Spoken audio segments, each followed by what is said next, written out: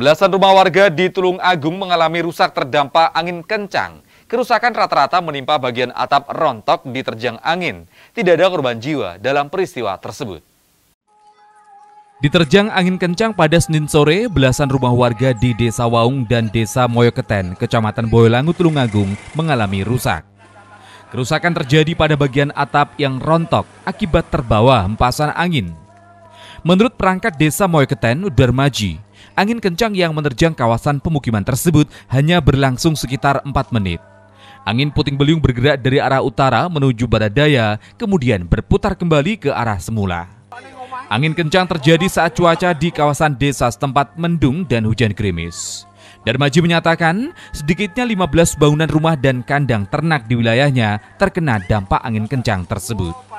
Sementara itu, BBD Tulungagung melakukan pendataan sebagai dasar yang menentukan kebijakan terkait pemberian bantuan yang sekiranya diperlukan. Awalnya? Kelihatan mendung, awan itu hitam tebal, terus disusul hujan gerimis, terus giliran itu ada puting beliung dari arah utara, terus kelihatan turun, turun arahnya ke mana Baradaya, Baradaya balik lagi muter. Kejadiannya nggak lama mas, kurang lebih hampir 4 menit lah, cuma 4 menit. Setelah itu pada genteng pada rontok terus disusul hujan deras. Untuk laporan yang pertama masuk tadi eh, ada di Desa Waung dan Desa Mayoketen. Dua desa. Dua desa. Sebentar ada enggak? Untuk sementara kita masih nunggu informasi karena kita masih di lokasi di Waung sama Mayoketen.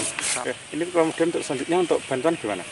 Mohon izin untuk pertama kita melakukan asesmen terlebih dahulu, nanti kita laporkan ke pimpinan, nanti untuk kajian berikutnya nanti kebijakan pimpinan mudah-mudahan segera dikasih bantuan berupa material.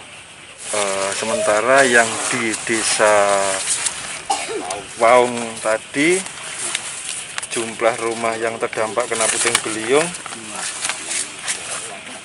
1, 2, 3, 4, 5 untuk kerusakan mayoritas genteng Kerusakan yang diakibatkan angin kencang ini tergolong ringan. Petugas memastikan tidak ada korban jiwa maupun luka dalam peristiwa ini. Agus Bondan, JTV, Tulung Agung.